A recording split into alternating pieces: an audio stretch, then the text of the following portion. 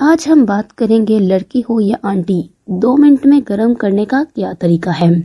अस्सलाम वालेकुम उम्मीद करती हूँ आप सब लोग खैरियत से होंगे। इससे पहले आप तमाम नाजरीन को अपने चैनल में खुश आमदीद करती हूँ। अगर आपने अभी तक मेरे चैनल को सब्सक्राइब नहीं किया तो जल्दी से सब्सक्राइब कीजिए और साथ में मौजूद बेलाइकन को प्रेस कीजिए, ताकि मेरी आने वाली तमाम नई वीडियोस का नोटिफिकेशन आप तक बसानी पहुँच सके और आप कोई भी वीडियो मिस ना कर सकें।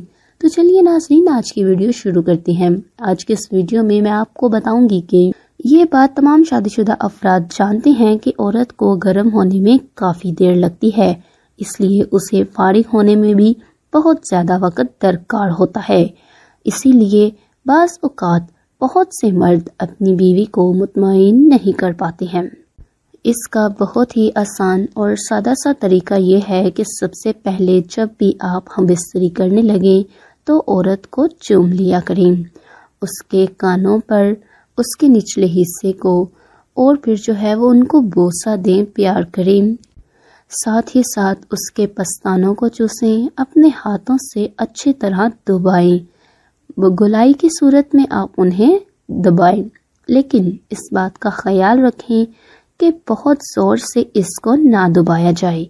क्योंकि औरत का ये हिस्सा गर्म होने के साथ साथ बहुत हसास भी होता है। इसीलिए ये उनके लिए तकलीफ़ का बायस बन सकता है। औरत के पस्तानों को बहुत ही नरम हाथों की मदद से दबाएँ और चूसें।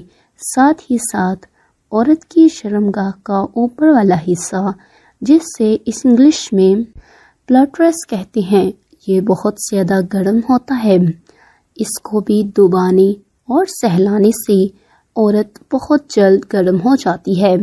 ये हिस्सा बहुत ही ज़्यादा गर्म होता है।